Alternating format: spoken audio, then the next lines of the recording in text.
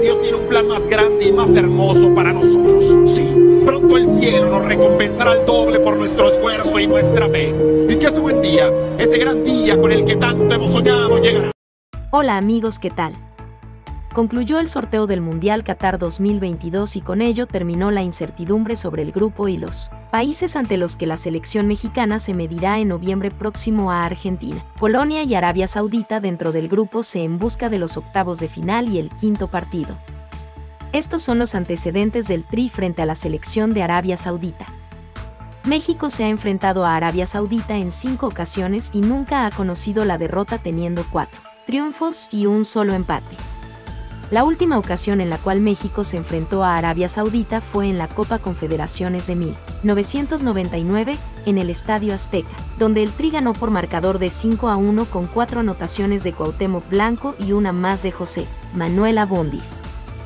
Previamente, el 3 de junio de 1998 empató 0 por 0 en un amistoso el 14 de diciembre de 1997, México goleó 0 a 5 Arabia Saudita en la llamada Copa Rey Fad que a la postre sería la Copa Confederaciones. Las anotaciones fueron dos de Cuauhtémoc Blanco, dos de Francisco Palencia y una más de Braulio Luna.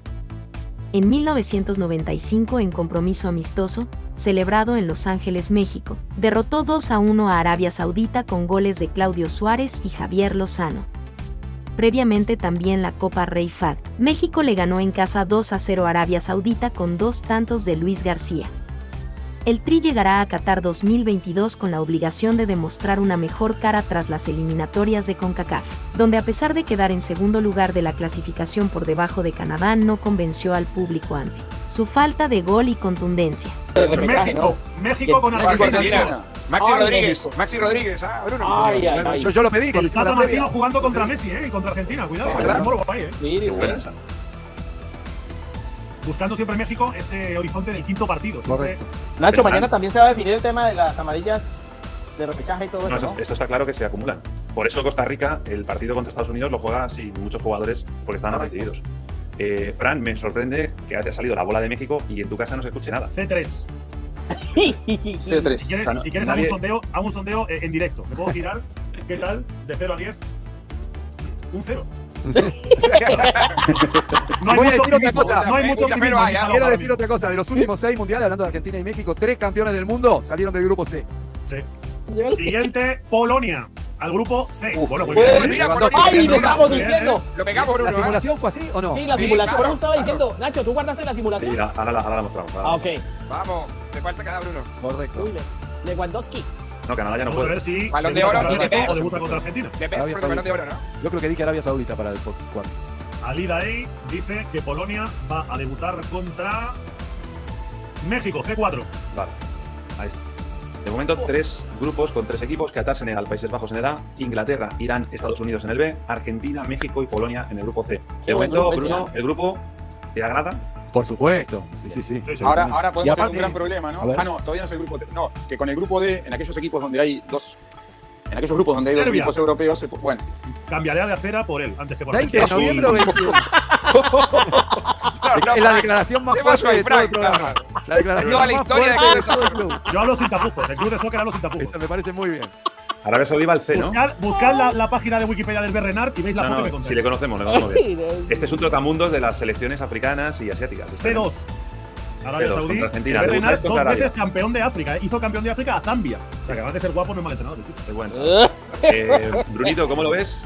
Debut contra Arabia Mi Saudí. chica ha hecho así, no sé si por el Bernard o por Arabia Saudí para México, pero ha hecho así. A priori. México, México, México, México. México es que no celebra tanto, ¿no? México. Yo creo que a priori México, Argentina. El del Playoff 2 va para España, ojo, eh.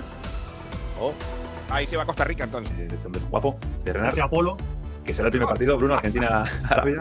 Y México-Polonia será otro, el otro partido. Sí. Eh, decías, Bruno, muy contento con eso. No, no, es un grupo claramente favorable. Argentina siempre le ganó a México. Ese del 2006 fue un partido sufrido, pero hubo otros dos choques en mundiales que Argentina eh, ganó mucho más cómoda. De hecho, el partido de México es un partido, el único partido que jugó Scaloni en Copa del Mundo fue titular el día de verdad. Rodríguez en, en Leipzig. Eh, y a Polonia también Argentina le ganó dos veces. En el Mundial 78 le gana en un partido que quizás alguno se acuerde, que es cuando Mario Kempes se tira a atajar una pelota con la mano a lo Luis Suárez, y en ese momento no había expulsión directa, y después eh, Pato Figueroa ataja el penal. Pero sí, es un grupo favorable por donde se lo mire, se va copón por copón. Posiblemente eh, muchos hubiéramos pedido en cada uno de ellos, dentro de, de las restricciones geográficas, a estos tres rivales. Entonces, Seguro. es un sorteo. Después, por supuesto, los partidos hay que jugarlos y hay que ver eh, cómo viene cada uno en, esos, eh, en estos meses de aquí eh, a que empiece a rodar la pelota. Pero me parece un sorteo como para que Calón y compañía hayan quedado muy satisfechos. De hecho, de hecho, Polonia, imagínate que, que no hubiese sido Polonia, hubiese sido Alemania. O sea, eh, No, eh, México, México. perdón, hubiese sido Alemania. Entonces, dentro de, dentro de los grupos, quizás por allí Polonia es el, el- el rival más fuerte del grupo y de lo que le podía tocar dentro de ese bombo 3. Sí, sí, Pero no es. digo, es verdad, no, no, no es quizás el más débil de este copón, pero nos- Correcto. insisto que nos tocaron, Carlitos, varios partidos de Polonia, en donde fue Lewandowski el que les sacó Sí, sí, la cara sí. por el equipo. Hicimos, fuimos un Deportivo partido. Polonia un momento. Hicimos muchos, y sí, algo de Zielinski, cuando llegó Pablo Sousa, eh, que venía del calcio en algún momento, un asomo de fútbol de equipo, pero poco, realmente Sí, pero- poco, como para Pero estás estar hablando, hablando simplemente de la parte ofensiva. Eh, Fran, y bueno, vosotros igual, el verano pasado me acuerdo en la Eurocopa, o sea, este equipo se te cierra y no hay manera de hacerle un gol. Digo, el- lo que sufrió España en esa Eurocopa lo puede sufrir Argentina en el Mundial perfectamente. Yo es que tengo ganas de ver a quién sientan en el banquillo. Es que Polonia no nos vale ya analizarlo en clave Paulo Sousa porque Paulo Sousa está en Brasil. Entonces ahora la repesca la jugaron con Nieves, que es un, un interino, no sé si se quedará al mundial o no, y dependiendo de quién venga ahora, igual el estilo es diferente, igual es una Polonia más ofensiva que mete arriba a Lewandowski con Piatek, por ejemplo, no, no lo sé. Bueno, pues ahí está el grupo. Argentina, Arabia Saudí, México, Polonia. eh, Argentina favorita número uno y luego a jugarse el segundo puesto, ¿no? Polonia, México, digamos. Sí, eso en realidad se puede decir de muchos de los grupos, ¿no? En donde el primero Sí. por ahí aparece separado, una disputa por el segundo y un cuarto con menos Quizá, chance. quizá, Bruno es el único que, que nos deja dudas de, de todos esos grupos, sobre todo de, no, no marcada la diferencia, sino el- el- lo parejo que puede ser es Alemania-España, ¿no? Ujú. De primer Correcto, segundo, porque- pero no, no, no, no mucho más, todo parece como que un poquito más claro, ¿no? Eh, contra Qatar, claro que sí. Mm, ¿Qué más, qué más, qué más? Pedían ahí un poquito de humildad para Ecuador. Ecuador no ha ganado nada, debe seguir demostrando su capacidad de buscar la madurez de su equipo joven, lo que decía yo antes, exacto. Eh, Luis Pal, hola Nacho, ganamos todos los futboleros. Buenos cruces desde la etapa inicial, Francia, Alemania, Brasil y ojo con Bélgica y un sudamericano. Sí, ya hablaremos más a fondo del Mundial, ¿eh? Hoy es un poco más reacción a bote. ¿no?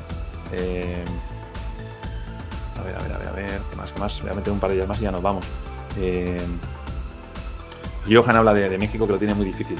Yo creo que sí. Yo creo que México de aquí al Mundial pues tiene que tocar muchas teclas ahí Tata Martino. Yo creo que con lo que tiene ahora mismo México no le da para, para clasificar tranquilo. O sea, yo creo que puede clasificar, pero, pero va a ir ahí, ahí. Ahora México, si es capaz de darle un poquito más de desarrollo al equipo, meter algún nombre nuevo, que alguno de los jugadores importantes eh, no llegue muy cascado, hay algunos que son veteranos ya como HH.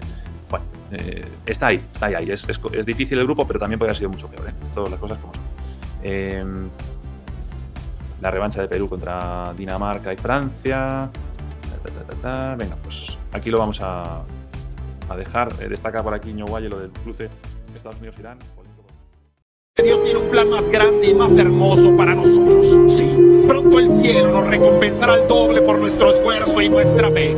Y que ese buen día, ese gran día con el que tanto hemos soñado, llegará.